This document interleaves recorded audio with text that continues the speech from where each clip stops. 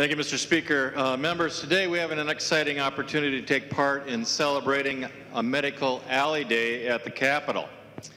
Minnesota's Medical Alley is the most diverse healthcare innovation hub in the world, leading in, in the way of medical device, digital health, health insurance, pharmaceuticals, biopharma, and diagnostics.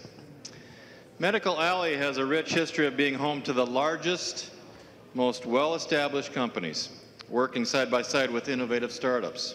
This revolutionary region is home to more than 15,000 health innovation and care establishments, excuse me, 15,000 innovation and care establishments employing more than, catch this, 500,000 people with more than 60 billion, that's with a B, billion dollar impact on Minnesota's economy.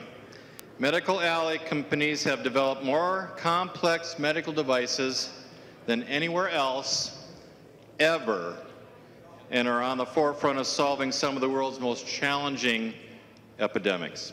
Medical Alley is where the future of healthcare happens with its companies on the cutting edge of technological advancements. Digital health on its own has increased over 1,000% since 2012, raising its profile to be more than $230 million as an industry in 2017. Uh, they were here today in the, the, basement of the rotunda. I encourage you to seek out uh, representatives of Medical Alley and uh, support those in, in, in companies in your uh, districts as well. Thank you, Mr. Speaker.